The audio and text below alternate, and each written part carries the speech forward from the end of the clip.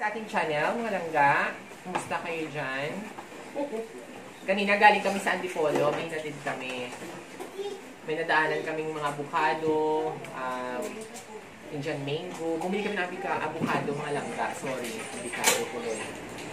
Ano talaga siya, galing sa sa puno. Kasi talaga sa puno nila talagang pinipitas. So sabi ko parang ang ano, parang talagang natural siya, yung pagkahinog. So ngayon ginawa ko, bumili kami. Tapos pinagawa ko ng ice candy sa kanila. Talagang as in ano siya, malagkit. Malagkit na malagkit na avocado mga palangga. So ito na yun. Kanina hindi ko nabutan yung intro nila kung paano nila ginawa. Pero alam ko, una, binalatan muna nila yung avocado, hiniwa nila, tapos binlender nila. Yung way of moment ng pagka-blender, hindi ko na na-iano sa inyo kasi nga naliko ang lola ninyo. So, ayun, blender nila, tapos, syempre, ang, ingredients lang naman natin, wala namang iba. Una, ito lang naman, pakita natin, ano ba itong ginamit mo?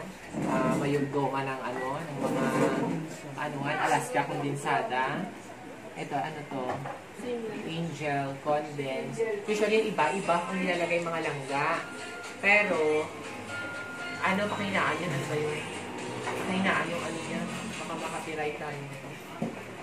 Yung iba, nilalagay usually evaporada, pero sila, parang candy, condense ang nilalagay nila. Tapos, napagawa din ako ng Milo. Post din na yun. Dapat galgona ice candy eh. Hindi ako marunong gumawa ng galgona ice candy na yun. So, Milo na lang. Hindi ko pa napag-aaralan.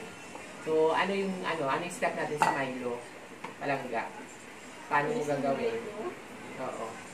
Ito yung John Mango, oh, 25 pesos lang kilo kanina. Buti pa kasi binili na isang carton nung kanina. Mura lang kasi talagang ano, pinipitas nila.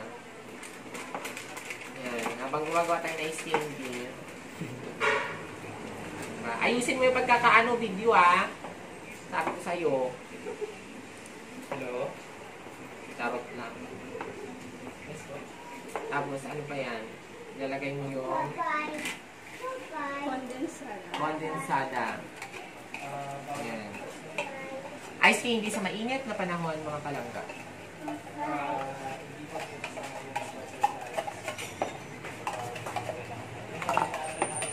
Doon sa ice candy na na-vlog namin noong nakaraan, medyo malaking revenue namin doon eh. Hindi pa namin nakukuha.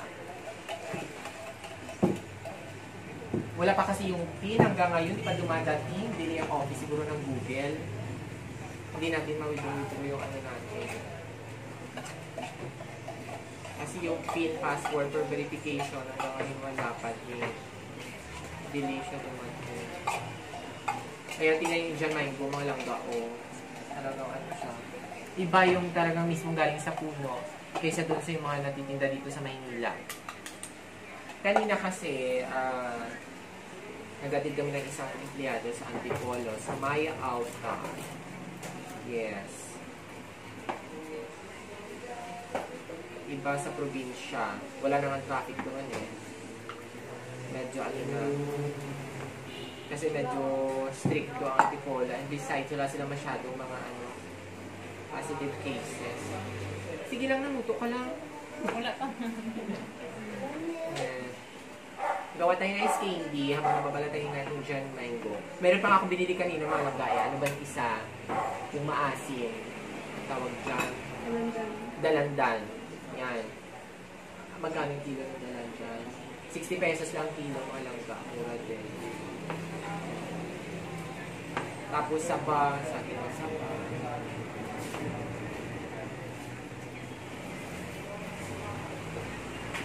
Yan ito yung kalalabasan ng ice candy natin later on. Yan. Ano lang naman yan, it's, uh, ano nila, additional tubig, yan, water. Ito yung sa, ano naman to, sa Milo ice candy. Uh, chocolate. Wala naman na ibang masyadong ingredients pag gumagawa ng ice candy. Asukal na brown sugar. Usually brown sugar ako. Hindi ako magalit ng puti. Yung avocado. Then ito Milo. Siyempre ito, ice candy wrapper. Walang Papakita ko sa inyo mamaya yung finished product. So, magbabalik tayo in a few minutes later. In, papakita ko sa inyo mamaya lang ga. Ha? Push muna tayo. Mamaya ulit.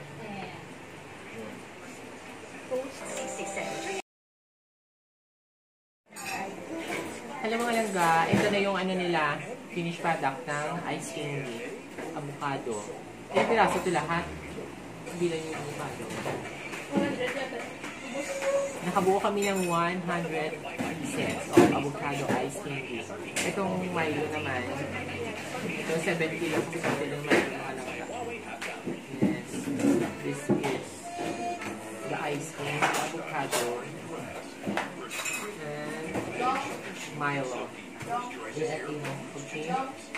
Then sa mga ano, sa gustong gumawa nito, kasi sa mainit ang panahon ngayon, pwede kayong gumawa. Siguro mga ano lang naman, mga almost 600 lang yung mga pulinan nyo. Well, kasi kami, kinakain namin ito dito sa bahay, hindi namin siya binibenta kasi mainit. So, pagkatapos kumain, ginagawa namin siyang dessert mga langka. So, ayun.